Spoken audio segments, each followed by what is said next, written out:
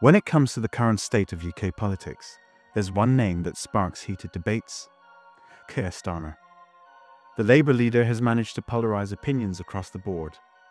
Now, throw Donald Trump and Nigel Farage into the mix, and you've got a political spectacle that grabs global attention. Let's break this down. The Mayor of London. Is that who you said? Yes. Well, I think he's been a uh, not very good mayor, from what I understand. He's done a poor job. Crime is up, a lot of problems. And I don't think he should be criticizing uh, a representative of the United States that can do so much good for the United Kingdom. Uh, we talked about it before. He should be positive, not negative. He's a negative force, not a positive force. Donald Trump's recent remarks about London Mayor Sadiq Khan have set the stage. Trump didn't mince words, calling out Khan's leadership failures, citing rising crime rates and what he perceives as negativity. Trump's criticism wasn't just a jab at Khan. And if you look at what he said, he hurts the people of this great country. Is needed in this world to bring back peace. His leadership is needed to save the West. Hello, is this Two-Tier Keir? Don here. I'm It was a broader statement about leadership and the need for positivity in governance. And while Khan might be brushing off these comments, it's clear they've resonated with many who share similar frustrations with the state of leadership in London. Right here's you, who was fantastic, by the way. These images, I mean, who has images like this? And these were relationships, too.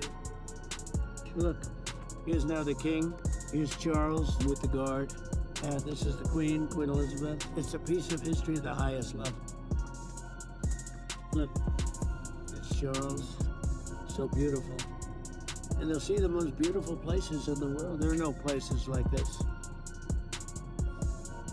And hopefully he's going to be well, because he's a really good person. Camilla is fantastic. Trump's admiration for the UK, from his interactions with the late Queen Elizabeth to his warm words about King Charles, paints a picture of a man who values the historic bond between the US and the UK. Mr. President, as we look to the future, I'm confident that our common values and shared interests will continue to unite us.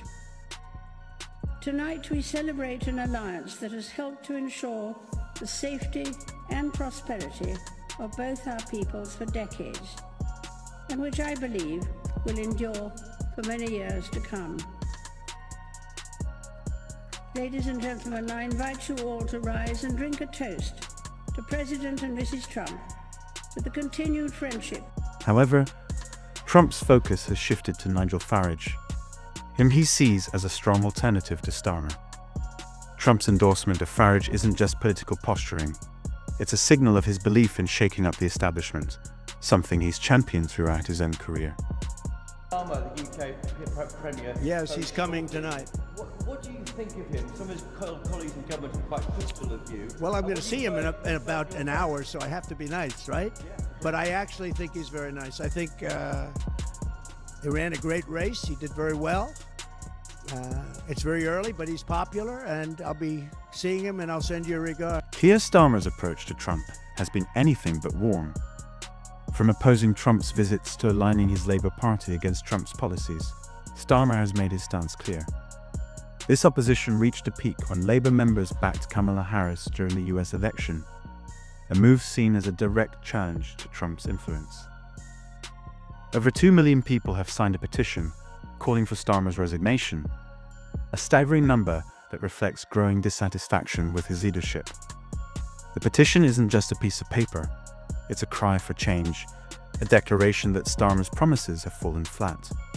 From backtracking on key policies to failing to address the concerns of everyday citizens, Starmer's tenure has been marked by a growing sense of disillusionment. One glaring example of Starmer's leadership failings is his handling of the winter fuel allowance.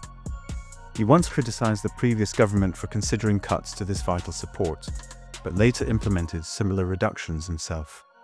This kind of hypocrisy hasn't gone unnoticed, especially by those who depend on such allowances to make it through harsh winters. It's a betrayal of the very people he vowed to protect, highlighting a pattern of broken promises and political double standards. the big winner of the last election in the UK, and uh, he's a very spectacular man, uh, very highly respected, Nigel Farage.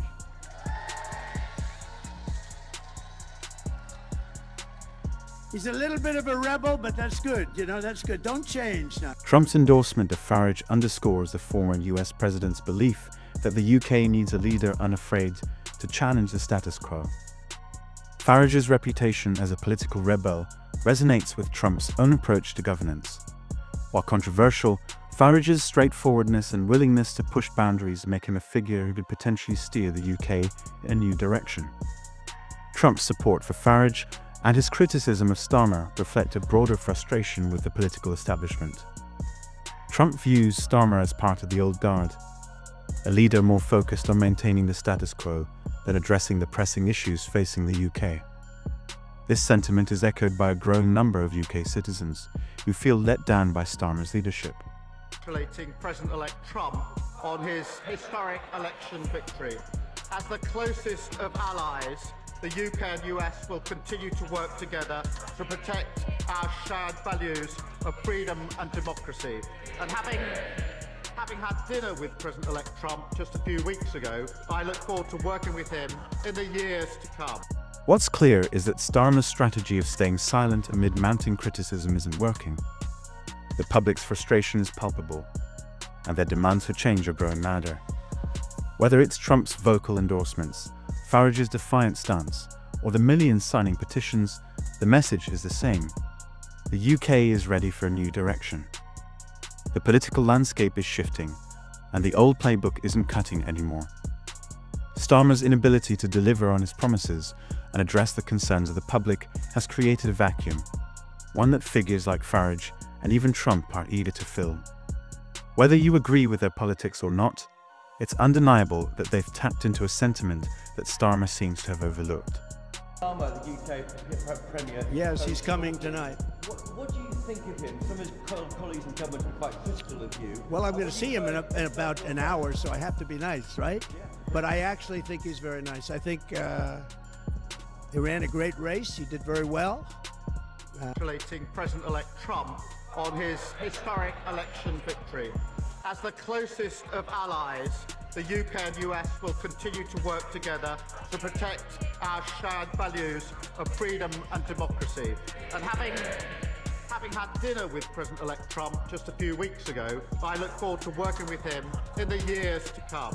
So, what's next for the UK? Will Starmer find a way to reconnect with the public? Or will he continue to lose ground to voices calling for a shake-up? One thing's for sure, the conversation is far from over. And as Trump, Farage, and the British public continue to challenge the status quo, the pressure on Starmer to step up has never been greater. What do you think about the state of UK leadership? Is it time for a change, or can Starmer turn things around? Let us know your thoughts in the comments below. And don't forget to subscribe and like for more updates on the political drama unfolding in the UK.